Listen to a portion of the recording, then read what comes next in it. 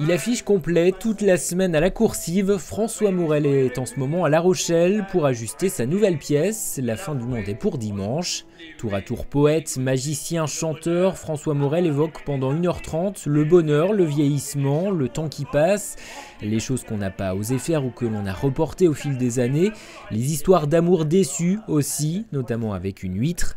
François Morel manie l'humour ou la fantaisie pour évoquer la vie et la fin du monde, programmée donc pour dimanche. Bah, ça dépend, on lundi, ça va. Il y a toute la semaine. Euh, c'est vrai que c'est pas un titre très optimiste. Euh, en même temps, il y, a, un texte au début qui raconte justement, qui fait, comme une métaphore où la vie durera une semaine et justement, on ne sait pas si on, si on est au lundi matin ou au vendredi soir. C'est un, spectacle sur le, sur le temps, sur l'âge, sur, euh, sur la vie. avec l'âge, je, deviens un peu prétentieux. Et donc j'essaie d'aborder les grands sujets, mais d'une façon, euh, j'espère, légère. François Morel s'est échappé un moment de Paris où la salle La Pépinière lui a donné carte blanche jusqu'à fin juin. Il a choisi La Rochelle pour tester son texte face au public de la coursive et pour régler les derniers détails de mise en scène, une pièce dans laquelle l'aspect technique joue un rôle important.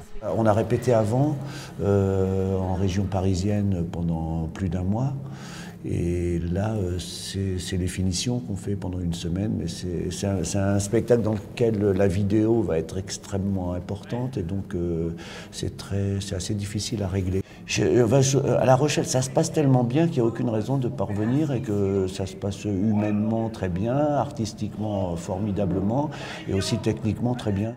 Après La Rochelle, la fin du monde est pour dimanche sera jouée à Paris. François Morel reviendra à la coursive au mois de novembre. Tu vois, gamin, la vie, c'est comme une semaine, lundi, mardi, jusqu'à dimanche. Ah bah toi, t'es, es au début de la semaine, t'es au lundi.